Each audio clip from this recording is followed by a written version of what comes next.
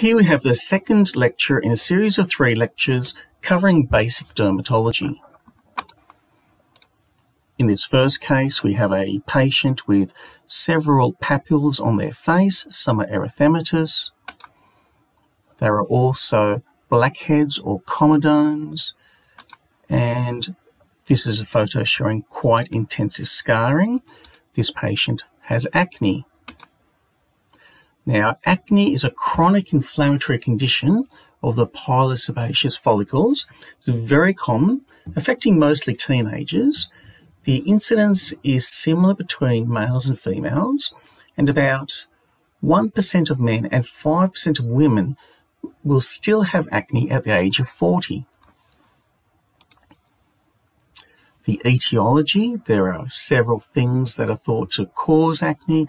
It may run in the family, hormones, male hormones, androgens, abnormal keratin formation as the result of androgen and cosmetics, and also bacteria. Propionibacterium acnes is a normal skin commensal, but is present in large numbers in obstructed follicles and produces inflammatory mediators. Acne subtypes include drug-induced, such as corticosteroids and androgens, cosmetic acne due to greasy cosmetic preparations, occupational, exposure to oils and tars, mechanical, pressure from an object, for example, a violin, and infantile, which affects mainly boys less than five years old.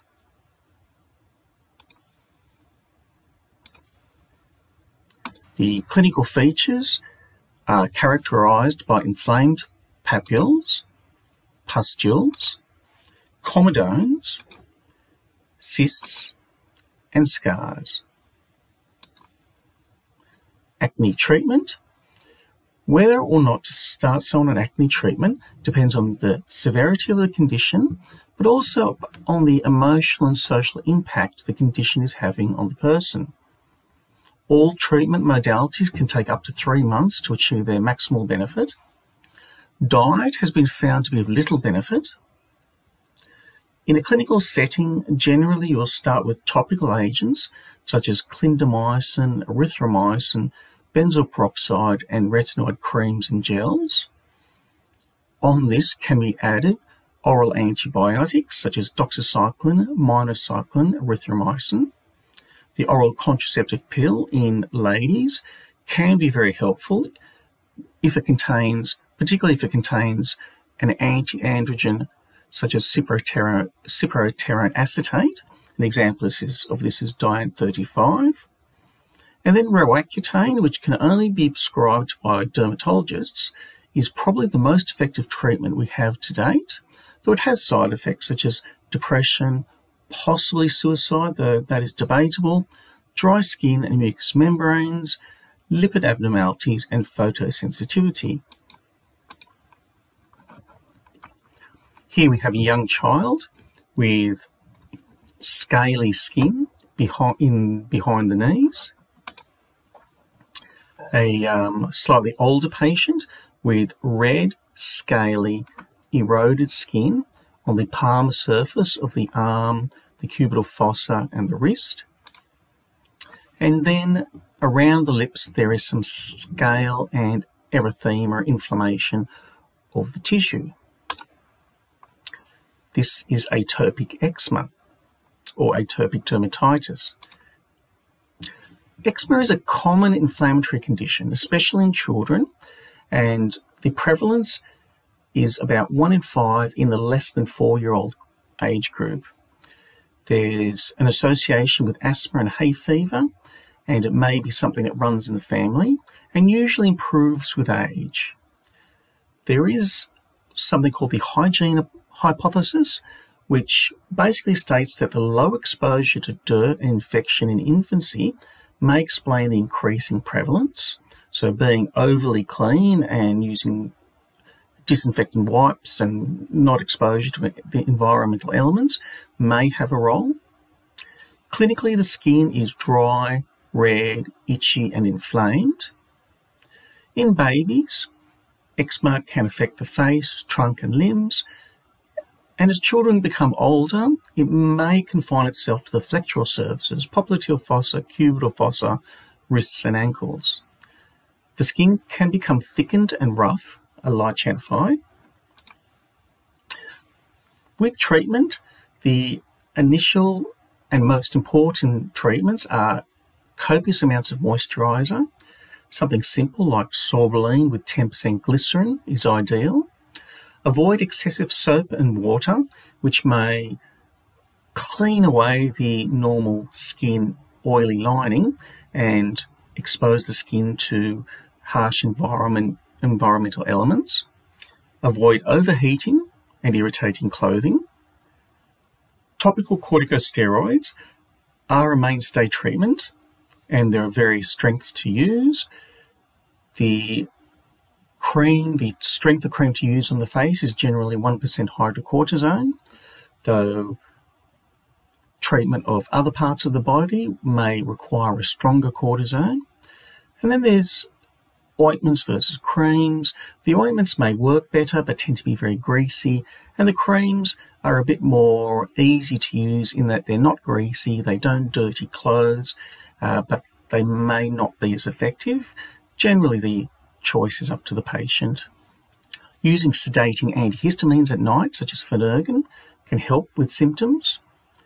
And topical Elidel is a calcineurin antagonist and it has a role, uh, particularly if the parents of the child are adverse to using topical steroids. And then there's environmental measures which may help, such as diet, house dust mites. But addressing these issues tends to achieve only sporadic and limited success.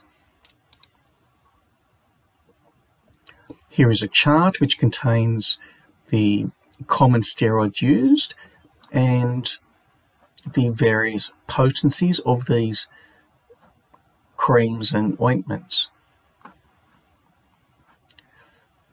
how much cream and how strong cortisone cream should be used. Basically, you should be using the, the lowest strength cream or ointment that keeps the condition under control. Often with using cortisone creams or ointments, you'll start on a stronger dose to get the rash under control, and then you can reduce the dose to the least required strength.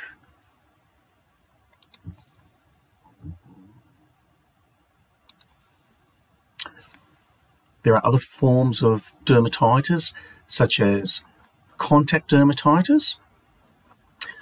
Here is a case of irritant dermatitis, where the child has been licking their lips and the saliva is causing irritation or breakdown in the in the skin surface.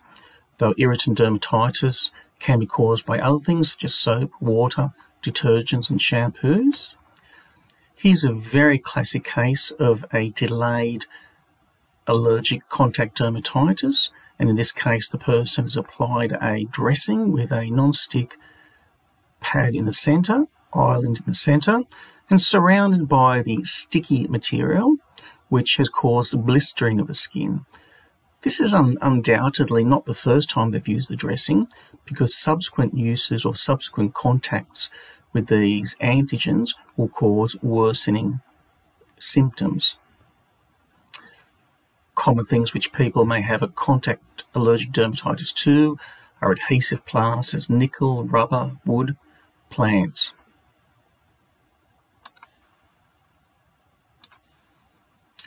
Lichen planus, this is a uh, uncommon condition, possibly a rare condition, where the person will develop purplish or violaceous polygonal plaques, which may be itchy, may be very itchy, but not always.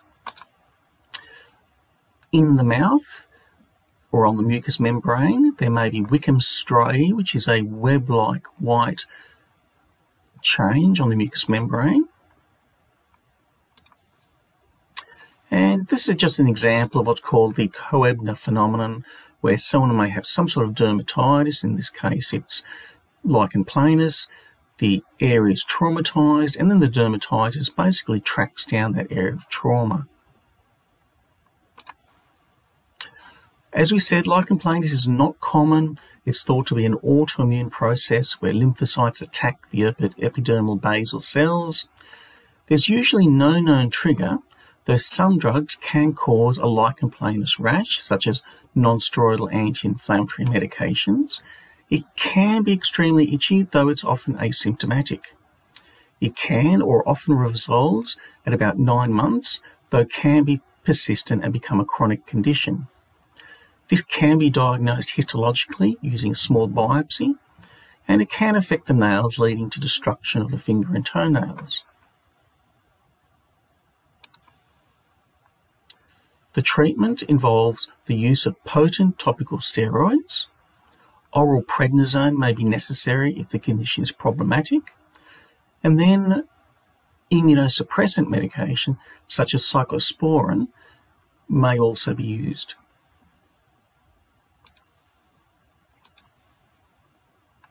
This is an interesting case, and here we may have a geriatric patient in a nursing home. There may be a degree of dementia, and they'll present with a area of red, inflamed, eroded skin, maybe a bit of light chenification. And in these, it's important to keep an open mind. This is a case of lichen simplex, or otherwise known as localized neurodermatitis. Now, the thickening is caused due to the inflammation, the rubbing, scratching, causing the skin to become leathery. And as far as we can tell, there is no underlying skin disorder here. We'll talk about that in the next slide. And this is particularly common in the 30 to 50 year old age group and tends to affect females at a greater rate than males. So what is thought to happen is there might be some sort of initiating factor, such as an insect bite or an itchy spot. This will then cause the person to scratch the area, which liberates um, liberates um, chemicals and mediators which may actually cause an itch, and then sets up this cycle of scratching and itching. You need to consider depression, anxiety, and stresses which may be provoking this. And the treatment is about breaking that cycle of scratching. Topical steroids may assist in reducing the itch and inflammation, and sedating antihistamines at night may also be useful.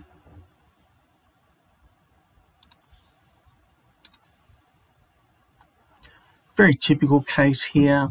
We've got the elbows of a patient with red plaques and adherent white silvery scale the similar condition on the knees, and this is the scale being rubbed away. And of course, this is psoriasis. Psoriasis is actually common, affecting about 2 to 3% of the population. It results in increased thickness of the epidermis, more rapid keratinization, dilation of blood vessels in the dermis. There may be a gene genetic predisposition, and it, it appears to have an autoimmune etiology. Of course, as with many skin conditions, it can be worsened with external factors such as stress. This is the classical plaque type psoriasis, where you have a slowly evolving scaly red plaque, which is well raised and well demarcated. The scale is silvery and gentle scraping reveals pinpoint bleeding. And typically in plaque-like psoriasis can affect the knees, elbows, scalp, base of the spine, and umbilicus. In, fle in flexures, the moisture and rubbing may uh, eliminate the scale, and so it may just look like a red, shiny area. It can affect the scalp. Again, typical red, scaly plaques. There are different types of psoriasis. For example, pustular psoriasis, which is a chronic condition affecting the palms and soles of the feet. It's quite acute and is associated with fever and toxicity, though luckily this is a fairly rare condition. There is guttate or drop-like psoriasis, which can be widespread, forming small papular areas on the trunk particularly. And of course nails can be commonly affected with psoriasis. We may have pitting of the nails, onycholysis, we have separation of the nail from the underlying nail bed, and then some subungual hyperkeratosis or thickening of the nail. There are many treatments for psoriasis, and these should be tailored according to the individual patient. The treatment is uh, fundamentally symptomatic, and one needs to take into account the social and emotional impact of the disease as this can be quite significant and should be addressed. Topical treatments can be burdensome, though are the best first, first line approach. You initially start with emollients such as Sorbolene or the QV range. There are various tar-based shampoos and creams over the counter which can be used or recipes can be prescribed which contain tar and salicylic acid. Dithranol, not used as commonly these days by any means, is quite effective. That's quite a messy staining topical treatment that can be that can burn the skin. So it has to be up titrated in strength, though generally it is safe and effective. The vitamin vitamin D analog creams such as Daivonex are good for when the psoriasis has been stabilized to keep the psoriasis in a stabilized fashion. And to stabilize psoriasis, usually you need a topical steroid, usually a fairly potent topical steroid due to thickened skin. You can get combinations of the Daivonex and topical steroids, which can be applied to the areas of psoriasis, which is helpful because the topical steroid will work reasonably quickly.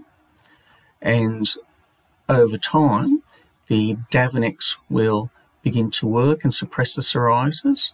And with time, the topical steroid may be dropped and the patient may be changed to just the plain Daivonex cream without the steroid, using steroid when needed. Narrowband UVB treatment or sun exposure can be very effective though precaution needs to be taken to avoid excessive exposure. And then failing these, immunosuppressants such as methotrexate, cyclosporin, and other newer agents may be necessary with, with recalcitrant widespread psoriasis.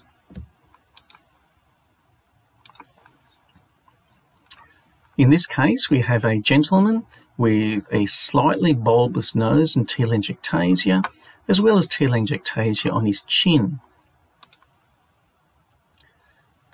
More progression has occurred where the person has developed quite thickened nasal skin, which is called rhinophyma. And a close look at the skin will reveal pustules, though no comedones. This is rosacea. In rosacea, you get erythematous papules and pustules on the background of erythema and telangiectasia. It's roughly symmetrical, and it can result in rhinophyma, which we discussed, which is the bulbous overgrowth of nasal sebaceous glands. Often, rosacea will affect the cheeks, chin, forehead, and nose, but there are no comedones, which will help distinguish it from acne. Generally, it tends to occur in fair-skinned, middle-aged adults, and the cause is unknown. Treatments such as topical metronidazole gel and or oral doxycycline or erythromycin can be very effective. And laser, either vascular laser to reduce the telangiectasia or say CO2 laser to thin down the skin on the, the nose to prevent to alleviate the rhinophyma can both be very effective cosmetically.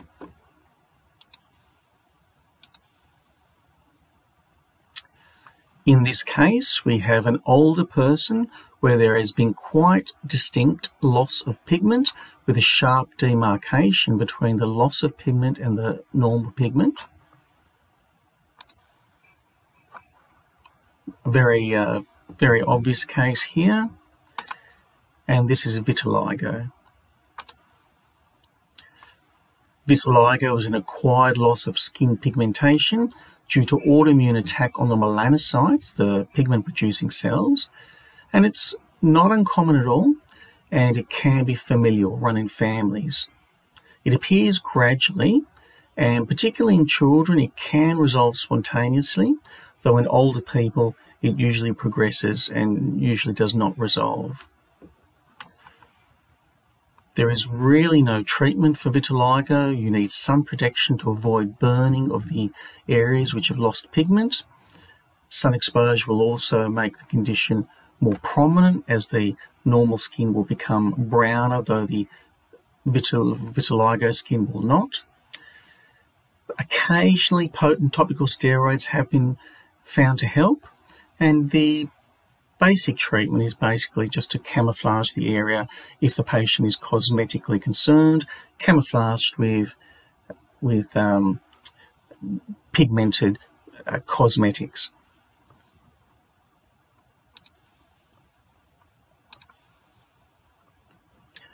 Here we have another facial condition, though in this case there is quite confluent erythema around the eyebrows, nose, malar regions and chin, and a close look will demonstrate a fine scale on the skin. Here the scale is quite obvious in the eyelashes and eyebrow. And again, showing the distribution of erythema and scale. This is seborrheic dermatitis. So as we said, you get a fine scale and a slightly erythematous diffuse base, affecting the brows, lashes, nasolabial, moustache and beard areas, and ears are also commonly affected.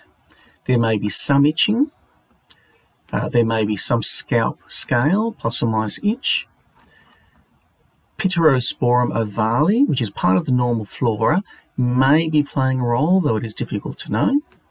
And treatment for this condition, there are a few treatments such as mild topical steroids, 1% hydrocortisone can reduce the reduce the redness and scale, and anti-dandruff shampoos in the scalp.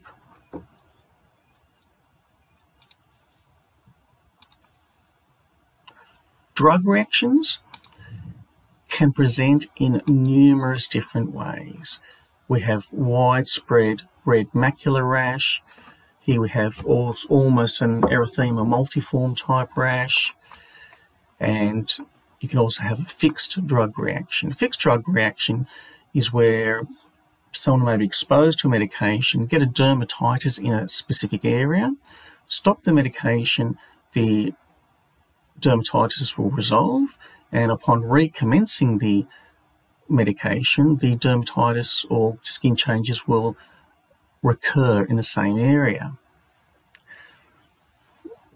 Medications are very common, rashes are very common, but in clinical practice, rashes are usually not caused by medications.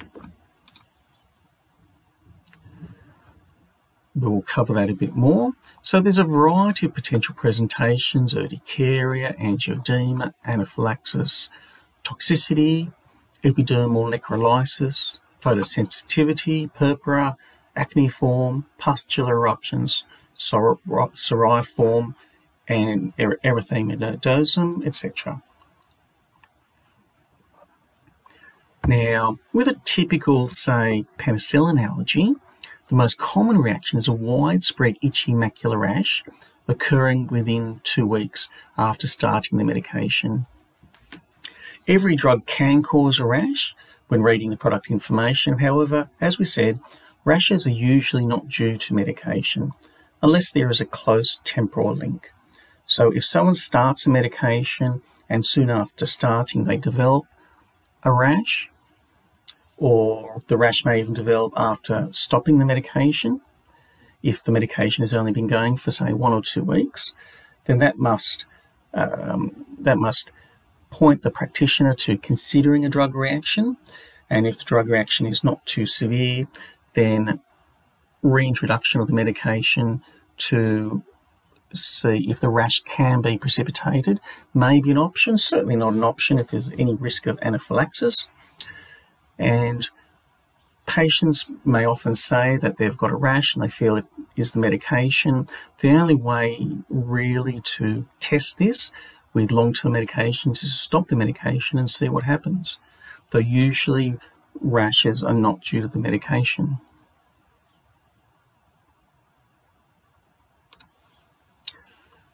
That is the end of lecture two.